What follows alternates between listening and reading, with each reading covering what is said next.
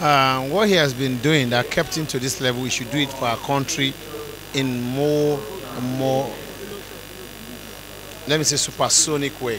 Because he has done it around and he has gathered a lot of fresh blood, good brain, like 30, 300. He should gather like 300 million for us so that we can all end up smiling in total success.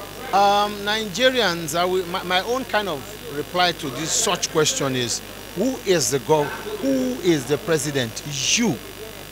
Nigerians should please stand up do the right thing at the right time. The people i mean given different duties should do it right. Him alone cannot do it. We should all stand up as if we are the leader and do it right.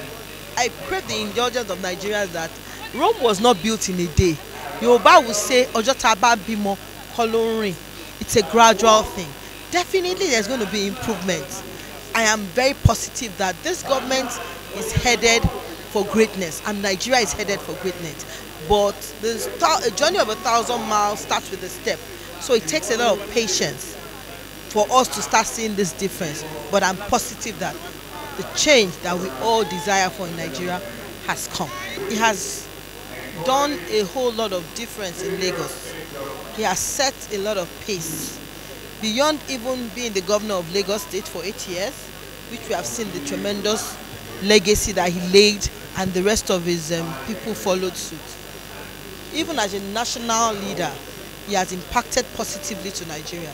So we are not expecting anything less than the best.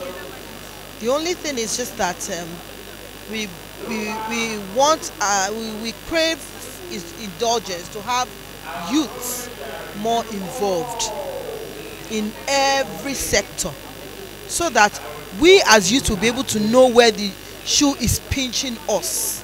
So that it won't be a situation of reported case that okay you are not doing this. It will be we are not doing this. So the youth has to be involved in every sector in nigeria. Gone are those days when you think that it's only the elders. No a lot of youths are making tremendous difference now. So this government should involve us the youths more. Carry us along more in the scheme of things now.